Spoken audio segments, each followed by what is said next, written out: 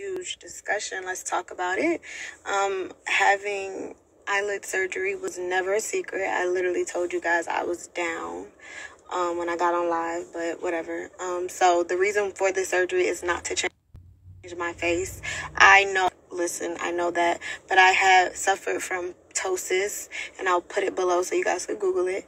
So I was suffering from ptosis, which caused this eyelid to just get really droopy, and it literally had me looking like this this eye was way bigger than this one because I had a lazy eye um, due to excessive skin over my eyelid. So, of course, if I have the money to fix something, I'm going to fix just, I've always been that girl. If it's something that I don't like, I'm to pay to get it done. Um, so I got eyelid surgery on my top eyelid to make this eye look like this eye. And I just wanted my eyes to be symmetrical.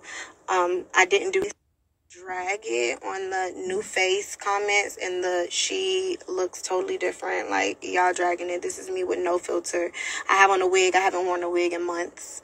Um i've been wearing my real hair with tape in so maybe that's why y'all getting a little bit lost in the sauce. But y'all know i'm always very open with you guys. Like i said it was never a secret. Um i got my eyes to be symmetrical so I won't have to always do my videos and take my pictures from this side. I'm about to be filming a reality TV show and I need to be flawless. Simple. I know y'all tired of me because y'all like, stop explaining yourself. The girls that get it, get it.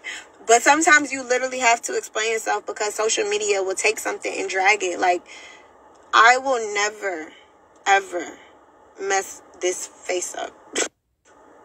If I'm doing something, it's to make it look better. But to change it and mess it up, never. Do y'all know how much money my face makes me?